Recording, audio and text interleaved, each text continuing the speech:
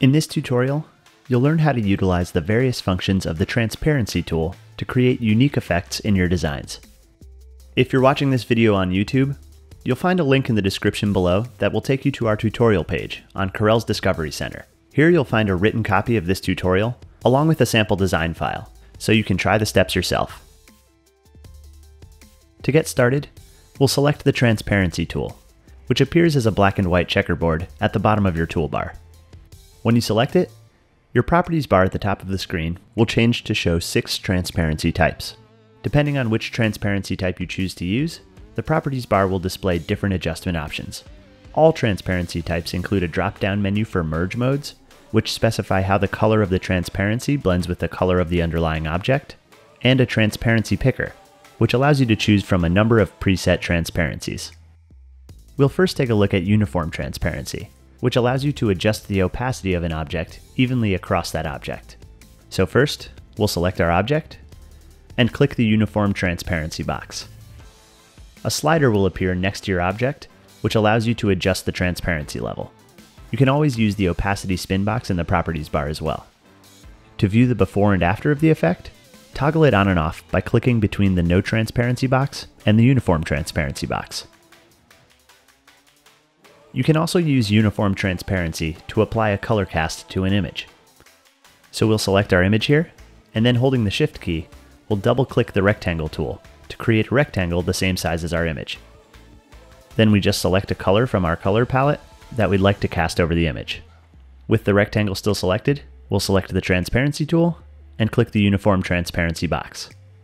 Then we can adjust the transparency slider to achieve the amount of color cast we want. Next, we'll look at fountain transparency. Fountain transparency allows you to apply a gradient of varying opacity to an object. One common application of this effect is to create the illusion of light reflecting off an object. Select your object and activate the Transparency tool. Then, you can first select Fountain Transparency from the Properties bar, or as a shortcut, simply click and drag inside your shape in the direction you want the gradient to go. Holding Shift while you do this will cause your transparency to snap to right angles. Click and drag the slider here to adjust your gradient distribution, and adjust your edges by clicking and dragging the black and white square handles. To adjust the angle of your gradient, click and drag the white circular handle. You can do the same thing with objects of different shapes by using nonlinear fountain transparencies. So take the shape of a light bulb, for example. Reflected light would probably take the shape of an ellipse. So we'll start by creating a white ellipse on top of our light bulb here. Then with the ellipse selected, we'll activate fountain transparency. By default, we'll see a normal linear gradient, so we'll go into the properties bar and click this elliptical box here. Again, we'll use the handles to adjust our transparency until it fades softly into the edges. Now we'll jump back to our photograph to take a look at how to use the transparency picker. The Transparency Picker drop-down menu offers a whole library of preset fills in various patterns to help you quickly create impressive transparency effects.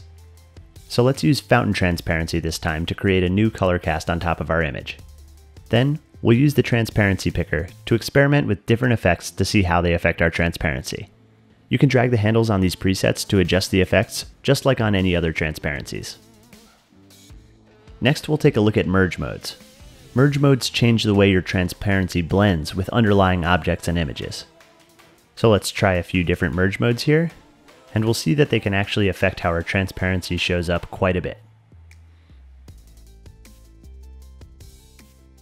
Now we'll take a look at the different ways we can apply pattern transparencies. The vector, bitmap, two color, and texture transparency modes offer a library of scalable patterns that you can apply to objects as transparencies. Applying each of these modes works exactly the same. So with our background selected here, we'll choose transparency from the toolbar and select either vector, bitmap, 2color, or texture mode. Next, use the transparency picker dropdown to find and select the pattern you'd like to use. Again, you can adjust the scale, angle, opacity, etc. using the handles and sliders, just like any other transparency mode. You can always find more vector and bitmap patterns free to download from the CorelDRAW welcome screen under Get More. Finally, we'll take a look at copy and pasting transparencies. So say you've created a transparency effect that you really like on one object in your design.